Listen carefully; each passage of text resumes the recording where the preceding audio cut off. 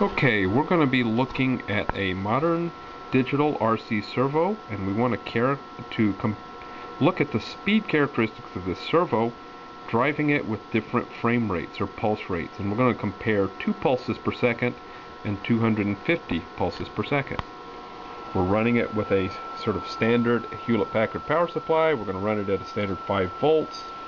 We now have the, uh, the a 5 amp supply and I've got the limits uh, dialed all the way up to 5 amps. You can supply that if it's called on. I'm using a uh, Stanford Instruments uh, delay generator and right now you can see we have it set to 250 pulses per second or 250 hertz. We can use the delays to adjust the pulse width going to the servo between 1 millisecond and 2 milliseconds. It does an instantaneous transition from one pulse to the next when we push that button. In fact, we can see that here on the digital oscilloscope. We see that indeed it's running at 250 pulses per second. Right now the, the width is 2 milliseconds, you see there? Hit the button, now we're down to 1 millisecond. You can see those pulses.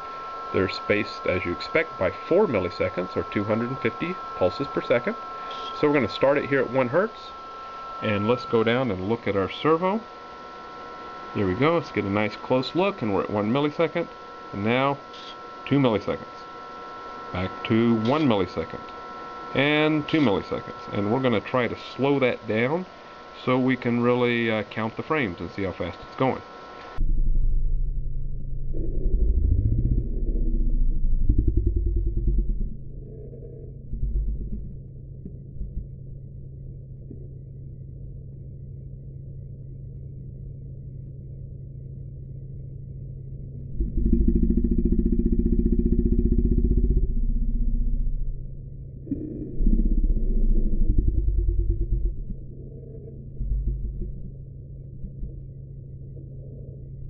So now that we've done that, let's go back to our delay generator.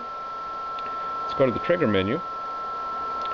And uh, let's dial that up to 252 hertz.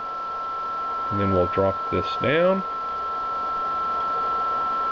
You can see where I'm going with this. Now we've got two pulses per second. Sure enough, our friendly trigger light there is just blinking along at a leisurely pace of two pulses per second, or one pulse every half second. And of course our digital oscilloscope is not showing anything at all because we've got to collapse the time base at least down to about 100 milliseconds per division. And sure enough, there's our pulses. And we see there, yep, we're at 2 pulses per second. We have a positive width right now of 2 milliseconds. It's not showing it very accurately simply because of resolution limit of the scope on this very slow time base. But indeed, we are running at uh, 2 hertz and 2 milliseconds. So now let's go back to 1 millisecond. Let's go back and down and look at our servo. The first thing we note on our servo is it has full holding torque, just as it would be with 250 hertz. You can see the current jumping up there as I turn it. And so now let's just switch between 1 and 2 milliseconds at this 2 hertz rate. So here we go, going from 1 to 2. There was 1 to 2, now 2 to 1, and then 1 to 2, and 2 to 1.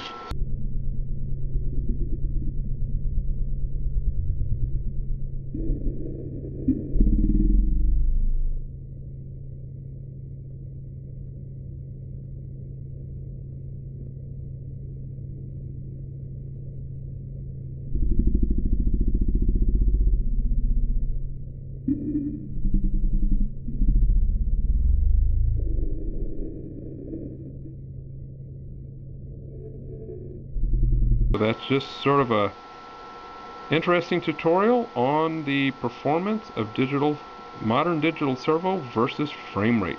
Their performance is very similar. It's just they have equal speed and they're going to transit to that new position divided by the pulse width really no matter how long it takes that pulse to arrive. Thank you very much. -bye.